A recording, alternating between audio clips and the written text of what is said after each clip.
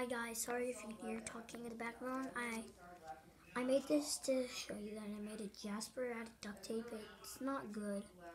Kind of felt bad that I made it because I showed it to my sister and she didn't like it. She was like judging it. And I didn't make him a hat. He has his Flying G's guitar. He has his jeans. He, he looks good to me. And nothing's wrong with him except I gave him eyebrows. Goodbye.